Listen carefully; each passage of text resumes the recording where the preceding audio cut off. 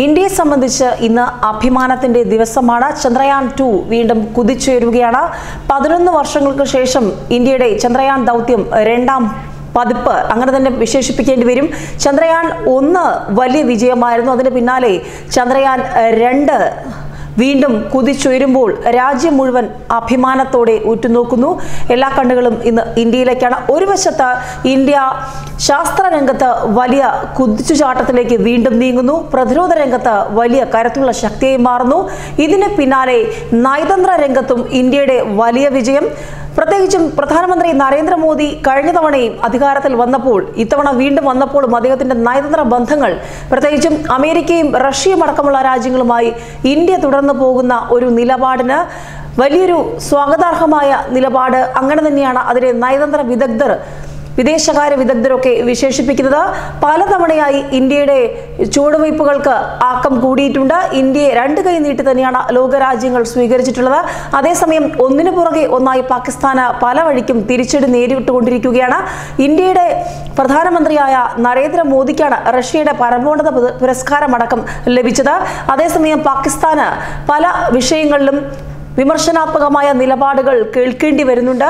ഏറ്റവും ഒടുവിൽ കുൽഭൂഷൺ ജാദവ് വിഷയത്തിലടക്കം ഇന്ത്യയുടെ നയതന്ത്ര ബന്ധങ്ങൾ വിജയം കാണുന്നത് നമ്മൾ കണ്ടതാണ്. അതിനൊക്കെ പിന്നാലെയാണ് കഴിഞ്ഞ ആഴ്ച റഷ്യയിൽ നിന്നും പാകിസ്ഥാന് വലിയ തിരിച്ചടി നേരിടേണ്ടി വന്നത്. അതിന് പിന്നാലെ ഇപ്പോൾ അമേരിക്കയിലും പാകിസ്ഥാന് ഇമ്രാൻഖാന് നേരിട്ട തിരിച്ചടി തന്നെയാണ് ലോകമാധ്യമങ്ങൾ പ്രധാനമായും കൈകാര്യം ചെയ്തത്. കുൽഭൂഷൺ ജാദവ് വിഷയത്തിലടക്കം വരാൻ പോകുന്ന തീരുമാനങ്ങൾക്ക് ഇന്നത്തെ ഡൊണാൾഡ് ട്രംപ് പാകിസ്ഥാൻ പ്രധാനമന്ത്രി ഇമ്രാൻഖാന്റെ ചർച്ചകൾ പോസിറ്റീവ് ആകുമോ നെഗറ്റീവ് ആകുമോ എന്നൊക്കെ ലോകം മുഴുവൻ ഉറ്റുനോക്കുമ്പോഴാണ് പാകിസ്ഥാന്റെ പ്രധാനമന്ത്രി ഇമ്രാൻഖാന് അമേരിക്കയിൽ ഒരു തണുപ്പൻ സ്വീകരണം ലഭിച്ചിരിക്കുന്നത്. അതായത് ഇന്ത്യൻ പ്രധാനമന്ത്രിയുമായും ഇന്ത്യയുമായും അമേരിക്കൻ പ്രസിഡന്റ് ഡൊണാൾഡ് ട്രംപും അമേരിക്കയിൽ നിന്നുള്ള പ്രധാനപ്പെട്ട വ്യക്തികളുമൊക്കെ നടത്തുന്ന നിർണായകമായ നീക്കങ്ങൾ പോലെ ആയിരുന്നില്ല ഇന്ന് പാകിസ്ഥാന് ലഭിച്ച ഒരു സ്വീകരണം. വലിയൊരു തിരിച്ചടിയാണ് പാകിസ്ഥാനെ സംബന്ധിച്ച് ഇത്. അതുകൊണ്ട് തന്നെ ഇന്നത്തെ പ്രധാന മാധ്യമ ചർച്ചാ വിഷയവും ദേശീയ തലത്തിൽ കടന്ന് രാജ്യാന്തര തലത്തിൽ ഇമ്രാൻഖാന് അമേരിക്കയിൽ ലഭിച്ച സ്വീകരണം തന്നെയായിരുന്നു. ഏതായാലും ഇന്ത്യയുടെ വലിയ നയതന്ത്ര വിജയം ഇന്ത്യൻ പ്രധാനമന്ത്രിയുടെ വിജയാഘോഷത്തിലാണ് ഇന്ത്യൻ മാധ്യമങ്ങൾ. ഇതിനേക്കാളൊരു നാണക്കേട് വരാനുണ്ടോ? ഇമ്രാൻഖാനും പാകിസ്ഥാനും എന്ന് തന്നെയാണ് മാധ്യമങ്ങൾ ചോദിക്കുന്നത്. ഒന്നിനു പുറകെ ഒന്നായി വലിയ തിരിച്ചടി. ആദ്യ റഷ്യ കൈവിട്ടു ഇപ്പോൾ അമേരിക്കയും. ഈ തണുപ്പൻ പ്രതികരണം ഇതുവരെ കിട്ടാവുന്നതിൽ വെച്ച് ഏറ്റവും വലിയ തിരിച്ചടിയാണ് ഇമ്രാനെ സംബന്ധിച്ച്. ഇന്ത്യയുടെ സമ്മർദ്ദത്തിന് പിന്നാലെയാണ് പാകിസ്ഥാനുമായി ഒപ്പുവെച്ച അൻപതിനായിരം തോക്കുകൾക്കുള്ള കരാറിൽ നിന്ന് റഷ്യ കഴിഞ്ഞ ആഴ്ച പിന്മാറിയത്. പാകിസ്ഥാനുമായി ഭാവിയിൽ ഒരു ആയുധ ഇടപാടും ഉണ്ടാകില്ലെന്ന് റഷ്യ ഇന്ത്യയ്ക്ക് ഉറപ്പ് നൽകിയിരുന്നു. റഷ്യയിൽ നിന്ന് അൻപതിനായിരം എ കെ സീരീസിലെ അസോൾ തൂക്കുകൾ വാങ്ങാനുള്ളതായിരുന്നു കരാർ.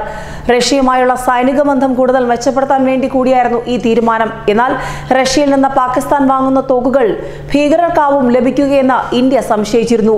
ഈ ആശങ്ക കൂടി ഉയർത്തി കരാറിൽ നിന്ന് പിന്മാറാൻ റഷ്യയോട് ഇന്ത്യ ആവശ്യപ്പെട്ടു. അത് ഫലം കണ്ടു. ഇപ്പോൾ ഇതാ അമേരിക്കയും അമേരിക്കൻ പ്രസിഡന്റ് ഡൊണാൾഡ് ട്രംപും രംഗത്ത് വന്നിരിക്കുന്നു. ഇത്രയും പോരെ പാകിസ്ഥാനെ സംബന്ധിച്ച് ഇമ്രാൻഖാനെ സംബന്ധിച്ച് നാണക്കേട് ഇതിൽ പരം എന്ത് വേണം? ഏതായാലും ഇന്ത്യ കുതിച്ചുയരുകയാണ്.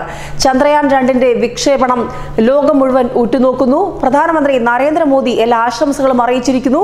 ഏതായാലും രാജ്യവും ലോകവും ഇന്ന് ചന്ദ്രയാൻ ടു എന്ന വലിയ ദൗത്യത്തിന് പിന്നാലെ നീങ്ങുമ്പോൾ ഇന്ത്യയെ സംബന്ധിച്ച് ഇതൊരു വലിയ അഭിമാന നിമിഷമാണ്.